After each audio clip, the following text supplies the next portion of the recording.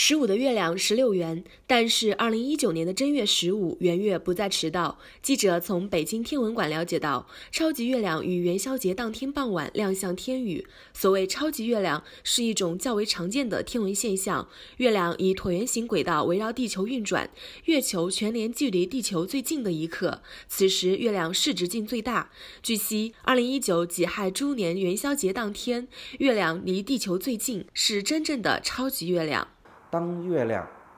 在满月的时候，它正好和地球距离最近，那么这就是超级月亮。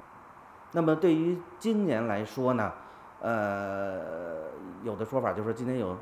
三次超级月亮。那么一月份、二月份、三月份，其实真正说这个呃满月的时候，离地球最近的应该是二月十九号元宵节的这一次啊。专家表示，虽然是超级月亮，但仅凭肉眼很难看出与往日的不同。真正的这个超级月亮，你拿咱们的肉眼看，嗯，你不一定能分辨得出来啊。虽然在这个月亮最大的时候，比月亮最小的时候呢，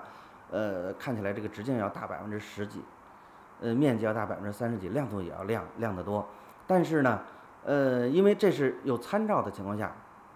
但是真正的看月亮，就天上就一个月亮，我没有参照。所以它到底是大是小，靠我们的眼肉眼啊，呃是很难分辨出来的。要真要看出它的大小，要用专门的仪器对它进行这个测量